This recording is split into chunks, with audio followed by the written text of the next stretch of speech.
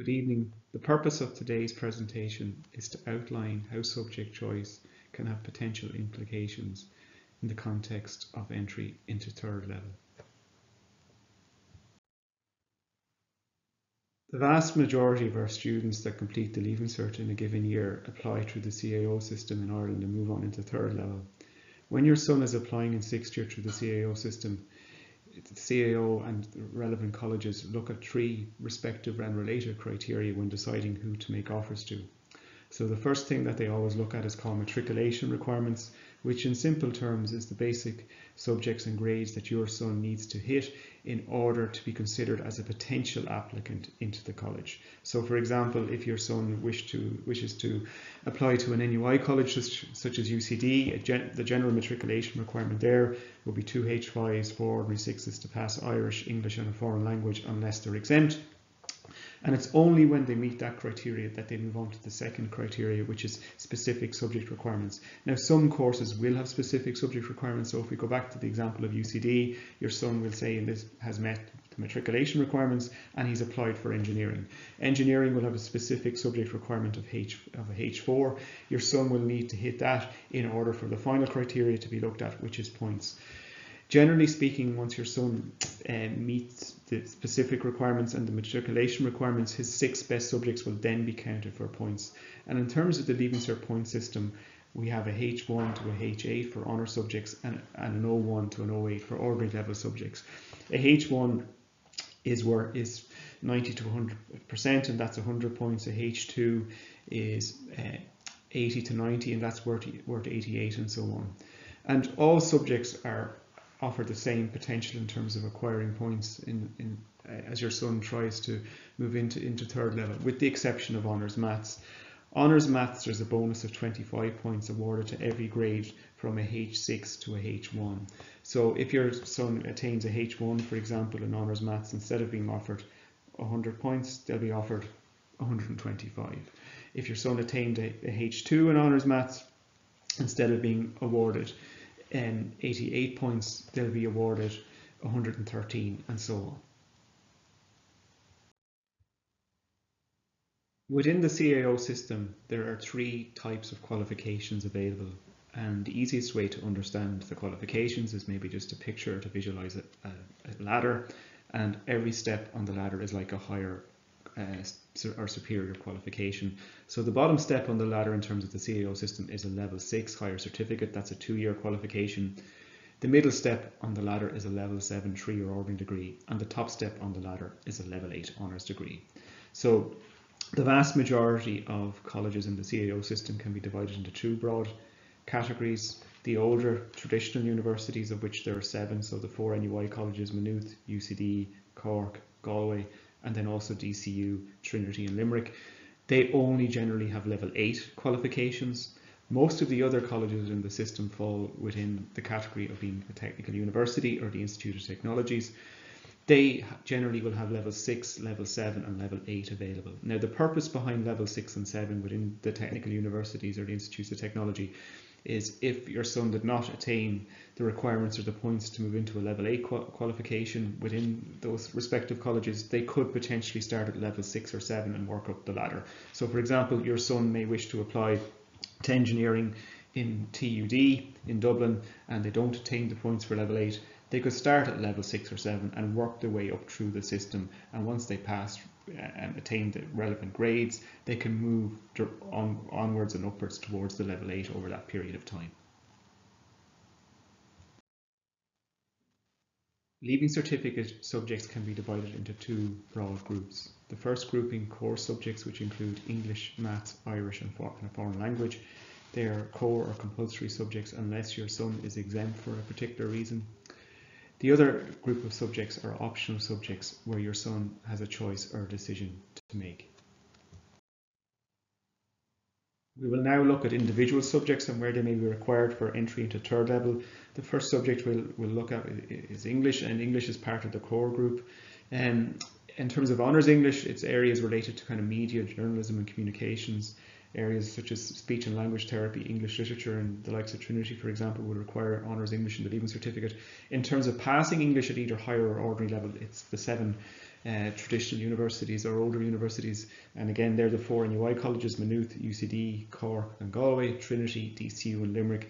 They require uh, your son to pass English at either higher or ordinary level as a matriculation requirement in order to gain entry.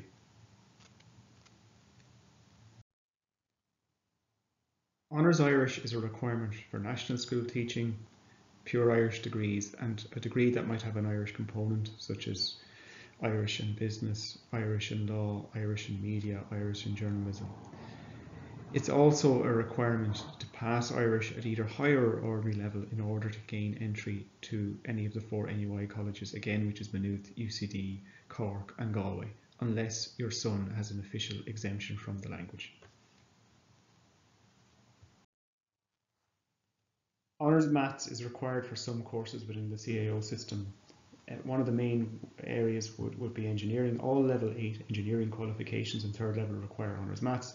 A handful of business courses such, such as actuary and, econ uh, and economics and finance and UCD would require Honours Maths. Some computer science courses such as in Trinity would require Honours Maths. Courses like data science, theoretical physics and so on would require Honours Maths in the Leaving Certificate.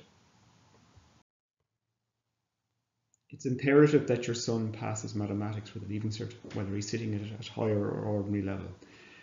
Failing maths at, a, at either higher or ordinary level will result in him being excluded from the vast majority of courses within the CAO system. So all courses in Institutes of Technology, technical universities, Trinity College Dublin, DCU and Limerick work, require your son to pass maths at either higher or ordinary level. A modern foreign language is a core subject. Students typically pick from French, German and Spanish in terms of where an honours grade in, in, in modern foreign language is required at third level. It's typically courses where you'll be studying the pure language, pure French, German or Spanish, or where a language is integrated into the qualification. And they would typically be courses like business and a language, law and a language, computing science and a language, and some qualifications such as engineering and a language. Some degree qualifications within the, the four NUI colleges, again the NUI colleges are Maynooth, UCD, Cork and Galway, require your son to pass a modern foreign language at either higher or ordinary level in the leaving certificate. We now come to the optional subjects. And this is where your son will have to make a choice and the first category of optional subjects are the sciences and within Castleknock we typically offer four science subjects agricultural science, biology, chemistry and physics. There are some colleges in third level, a handful that will require two science subjects, some courses in Trinity such as physio, dental science, medicine, human health and disease and so on would require two eh, sciences. There's some co courses also in Cork and the five-year medical programme in Galway and the Royal College of Surgeons would typically require two science subjects in order to gain entry.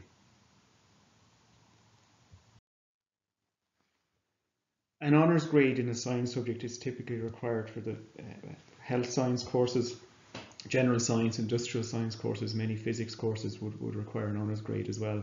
Science subjects would also be required for other disciplines, some PE courses, particularly where there's maybe a science subject integrated into the teaching component, sports science, athletic therapy, agricultural science, and so on. Some of those qualifications would require science in the Leaving Certificate.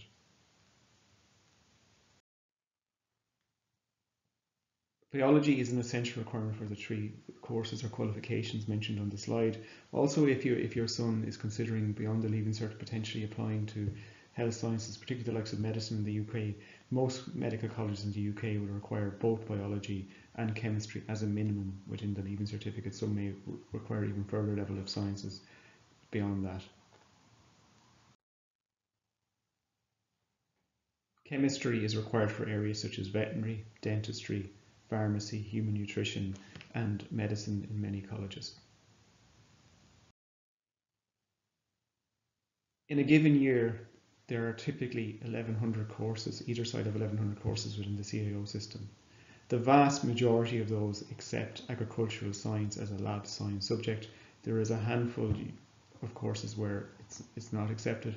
Some courses in colleges in terms of medicine, pharmacy, dentistry and optometry do not regard it as a lab science subject, but it's important to emphasise again that 99.9% of qualifications and courses in the CAO recognise it as a science subject in terms of entry, but also in terms of the ability to accumulate points. Physics is essential for theoretical physics in Trinity College Dublin, but it is also exceptionally useful for qualifications such as engineering and computer science and many others, and it acts as really good preparation in advance of moving into those sort of degrees and the material that you, your son would have to face in those types of qualifications. There are more business qualifications within the CAO system than any other type of course. And within all of those business qualifications, there is currently only one where which makes a business subject compulsory, and that will be an accounting course in, in, in Galway requires Leaving Cert accounting. Having said that, if your son is considering moving it potentially into any business qualification beyond secondary school in, in third level, obviously moving into into any of those without having completed one or more business subjects, he's not going to be exceptionally well prepared because much of many, much of the material that he'll see within the, the, the three business subjects, he will face elements of that if he goes on and moves into any business qualification in third level. History and geography are not compulsory in order to gain entry into any qualification within the CAO system, but they still offer the same potential in terms of points. So a H1 in history and geography is worth 100 points in the same way that a H1 is in chemistry or a H1 in English. But they also provide the opportunity of this development of transferable skills that are that could be used in a wide range of qualifications in third level.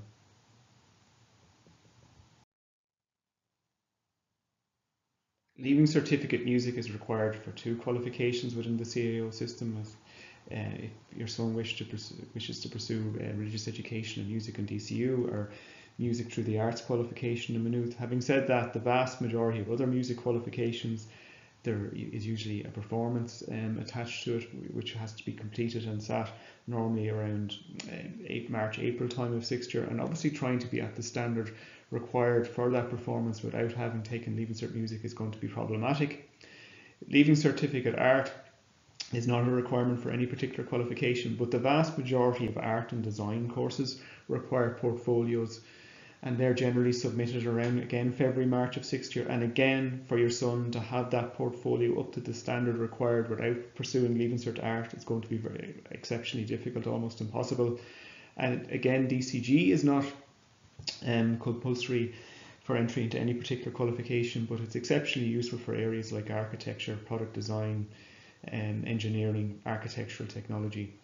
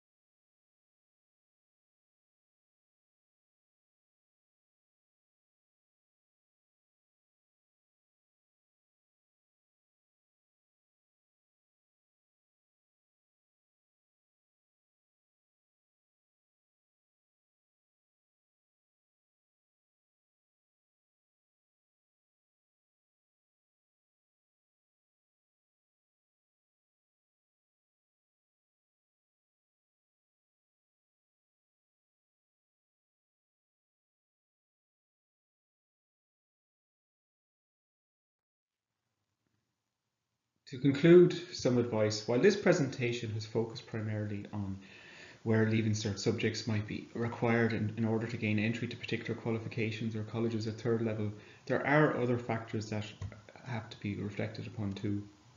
So for, first and foremost, your son needs to reflect upon his strengths and his interests, and primarily in that context, to reflect back on his first three years here up to junior cert level in terms of optional subjects, what subjects did he like? What did he enjoy? Where did he excel? What came naturally to, to, to him? Because ultimately, trends are likely to continue. So if he had a flair for a particular optional subject at junior cert level, that's likely to be the case for senior cycle also. Likewise, the opposite is true. If an optional subject was a bit of a struggle, it's quite likely that it, it, it will be problematic again as, as, as he moves into senior cycle. I suppose in terms of optional subjects, you also have to consider how can I leave particular options open, but that's only relevant in the context of college and careers if there is a genuine interest in the material that he'll have to study beyond secondary school. So for example, we, as you've seen from the presentation, honours chemistry is needed for, for veterinary. So we always have to ask ourselves, and that's just an, exa an example in this scenario, but we always have to ask ourselves, you know, why is a subject needed in third level? So in that scenario, the reason chemistry is needed is there's quite a lot of biochemistry and chemistry covered within the course. So the student needs to take a step back and reflect upon the junior cert. Did I actually like the chemistry component of junior cert science? Uh, what does that tell me about the likelihood of me enjoying or not enjoying chemistry? In fifth and sixth year.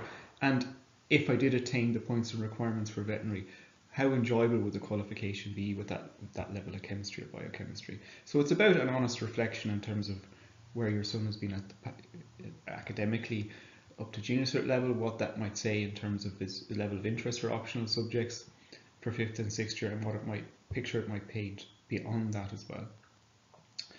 Um, so just I suppose also to not to pick a subject because your, your son may have heard that it's easy. What's easy to one person is difficult to another, and it really depends on the individual and their, their work ethic and their aptitude as well. So the, uh, this is presentation is a synopsis of the main ideas, and it's important, like before you make any decision, to scrape beyond the surface and for to do some research. So I would suggest like I would have over the, the phone appointments and when I met your sons individually in the context of that as well, two particular websites um, called Qualifax and Careers Portal. So to look at those from the point of view of analysing, starting to analyse particular qualifications and they will cover entry requirements and what subjects will be needed or not. But also Careers Portal would provide an array of information in terms of leave, leave and cert subjects and what might be covered in them. So it's important to do that element of research. So the optional subjects, it's about making a balanced decision between where I might need a subject to gain entry into a particular course, and but also will I enjoy that subject? Am I likely to excel in it? Will I get the grade? Because I suppose to finish up, whatever way we dress up a leaving cert, unfortunately there is an element attached to it where it's a national competition and we're competing on a given year maybe against either side of 60,000 students. But we're also ultimately competing against ourselves as a student in order to be the best that we can be. So the optional subjects, it's about trying to strike that balance between where can I achieve and potentially get points and how can I leave options open.